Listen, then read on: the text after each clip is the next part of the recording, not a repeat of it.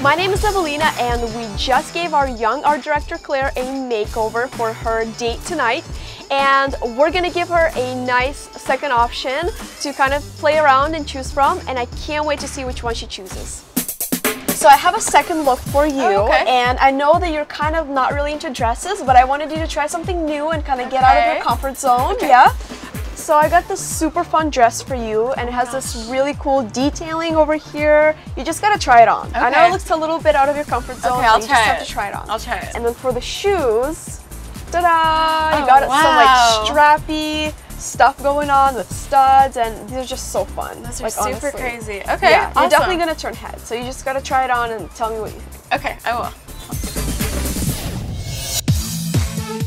Oh my goodness. so what do you think about the look? How do you feel? I love it. Um, it's not something I would have ever put together, but I feel great in it. Yeah, well, I think it's a really nice contrast between like feminine lace and like tough, studded, leather strappy shoes. Like, I think it really absolutely. balances it out itself so you don't feel like overly girly. Yeah. Yeah, I let's really do something do. with the hair. Okay. I think you that wanted a little good. bit of volume, right? Yeah. So what I'm gonna do is I'm just gonna have you put your hair down, and what I'm gonna do is I'm just gonna spray some hairspray to your roots.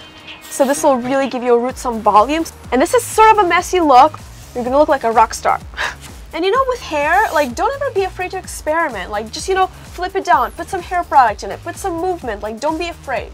So I'm just kind of brushing the product in and just kind of making sure it's all nice and dry before we flip the hair. All right, so why don't you give us a big hair flip? Nice. So I'm just gonna do like a side part. So this will give you even more volume because your hair is not used to laying that way. Okay. So look at you, girl, looking all sexy. I love it. and to top off the look, I'm going to add a little bit of lip color. I'm gonna go for this really nice plummy color. Plums are super in for this weather right now and for the spring season. They're still in, always gonna be in. All right, ladies, which look do you think Claire should choose? I know which one I like. Let me know which one you like in the comments below. So the look is fully complete. First No. of all, let, let me look. I just want to see the whole thing. you gotta stand up. Yeah. Um, I love it. Again, it, it's nothing I would have ever put together, but I'm so glad that you put this on me because it's great and I feel sexy and comfortable and, and ready to go on my date. That's awesome. So that's what you need to do at home. You do something that's out of your comfort zone, and you never know, you might as well love it. All right, so you have fun at your date. I will. Thank you so much. You look awesome, by the way. Thank you. I Told you that a million times. If you enjoyed watching this makeover, make sure to tune in for future episodes to see who we're gonna ambush next.